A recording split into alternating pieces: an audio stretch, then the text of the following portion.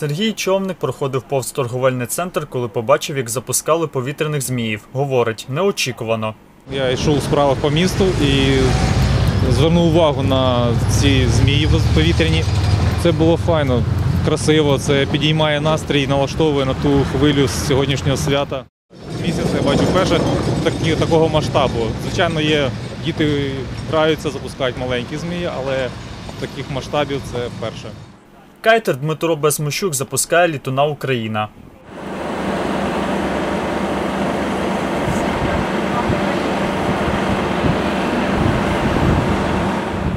Далі чоловік додає ще двох українця та сердечко.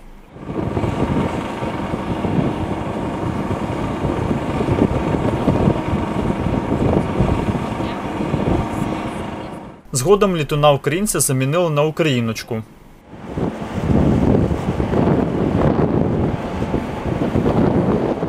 Організаторка міжнародного фестивалю повітряних зміїв Саусвін Тетяна Безмущук говорить, ці повітряні змії зроблені їхньою командою козаки з надлегкої водонепроникної тканини. Розмір літунів 5 метрів кожний. Вага близько 2 кілограмів кайта сердечко, близько 3 кілограмів трьох інших кайтів. Під час запуску літунів у повітря їхня вага збільшується в декілька разів залежно від сили вітру. Жінка говорить, кайт кріпиться карабіном на мотузку, якою контролюють повітряного змія.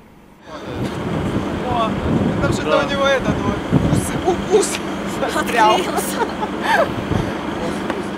На дахах будинку це в центрі місця, це не відкрите пространство, і тут створюються свої е, своя роза вітрів, своя турбулентність, і є певні труднощі для цього. А, але немає нічого неможливого. Все можливо, але треба контролювати і слідкувати, аби це було безпечно. І вирішили зробити такий такий е, цікавий е, перформанс, е, якого ще не було у нас в Миколаєві. І вирішили запустити на даху будинку наші фірмові українські повітряні змії і поздоровити усіх закоханих, ті, хто вже знайшли свою другу половинку, і ті ще лише в пошуку, поздоровитись з цим гарним святом. Тетяна Безмощук говорить, 18 лютого в арт-просторі Gallery відбудеться презентація проєкту міжнародного фестивалю повітряних зміїв Southwind, де розповість подробиці нового фестивалю.